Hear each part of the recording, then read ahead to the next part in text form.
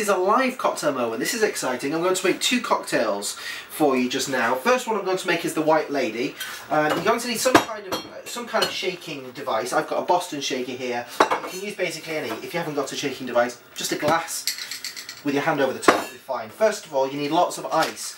Uh, ice goes in a Boston shaker in the uh, metal part of the shaker. And this particular cocktail has three ingredients. It's got gin, uh, and we're going to do equal measures. So um, I've got my measure here. Uh, I'm going to do one and about about one and a bit measures of each.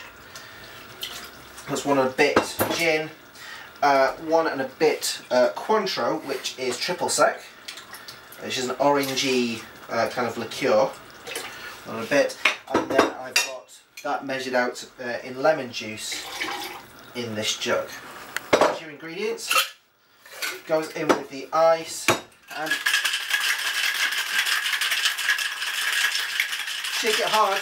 You want to make it really, really cold.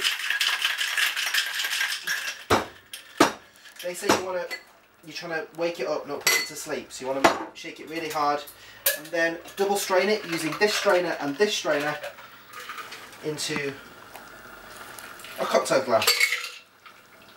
The White Lady second cocktail I'm going to make for you is called the Jack Rose, which is made with principal ingredient of Calvados. It should be made with a, a sort of apple brand apple whiskey called uh, called Applejack, uh, which is made in the States. It's very difficult to get hold of in this country, so uh, Calvados, which comes from France, is a much easier thing to get hold of.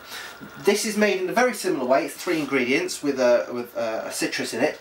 You're looking at about two uh, Calvados.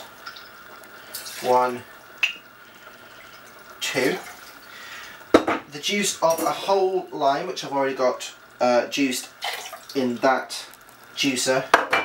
And then about three quarters of a shot of grenadine, which is a pomegranate flavoured syrup. And obviously it's bright red, which gives the drink its final colour. About three quarters of a shot. And then we do exactly the same thing, which is Lots of ice in the shaker. Drink in the shaker. Bang on the top.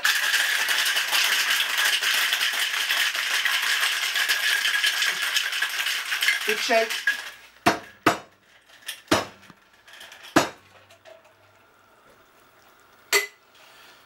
And once again, fine strain use two strainers so that you don't get lots of bits of ice in your final drink. Fine strain that into your cocktail glass. And there you go, that's the Jack Rose. Two cocktails you should be able to make at home. Cheers.